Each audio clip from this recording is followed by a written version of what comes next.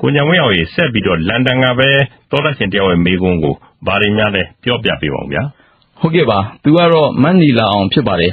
တရုတ်နိုင်ငံကမြန်မာနိုင်ငံမှာဆယ်ရီတိဆောက်ပြီးရင်းနှီးမြှုပ်နှံနေတဲ့ကိစ္စနဲ့ပတ်သက်ပြီးစိုးရိမ်မကင်းမေးမြန်းထားတာပါခင်ဗျာမင်္ဂလာပါအန်ဒီကောင်ဆန်းစုကြည်ရှင်ကျမကတော့မြန်မာအရေးလှုပ်ရှားနေတဲ့မန်နီလာအောင်ဖြစ်ပါတယ်ရှင်အန်ဒီရှင်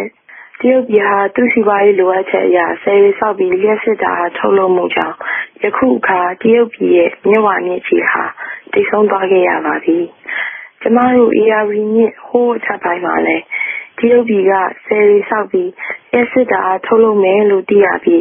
ARV မြစ်ကြီးဟာကောသွားနိုင်ပါတယ်။ဒီ ARV မြစ်ကိုမြင့်ချင်းနေထိုင်ကြတဲ့ထိုင်းလူပြည်သားတွေအနေနဲ့လည်း အလုံးမဲ့အခက်အခဲတွေတွေ့လာနိုင်လို့မိုးခေါင်ခြင်းရေရှားခြင်းစတဲ့တဘာဝဘေးရန်တွေများလည်းပုံမချရောက်လာနိုင်ပါတယ်။ဒီကထွက်လာမဲ့ရက်စစ်တာအားတွေကတော့အလုံးနီးပါတရုတ်ပြည်ကိုသာတင်ပို့မယ်လို့လည်းသိရပါတယ်။ဒီလိုမျိုးနောက်မျိုးဆက်ပေါင်းများစွာစိုးကျိုးများဖြစ်လာစေနဲ့ဒီဆယ်ရီမဆောက်အောင်ဦးသိန်းစိန်ဆိုရတာဝန်ရှိသူများနားလည်အောင်ပြည်သူတွေသိအောင်ဘယ်လိုမျိုးလုပ်ရပါမလဲရှင်ကျေးဇူးတင်ပါတယ်ရှင် ကဲကိုညာဝင်းရောက်ရေအစီရင်ခံစာတွေကလည်းဒီရေကာတာတွေမဆောက်လို့တင်မှုဆိုပြီးတော့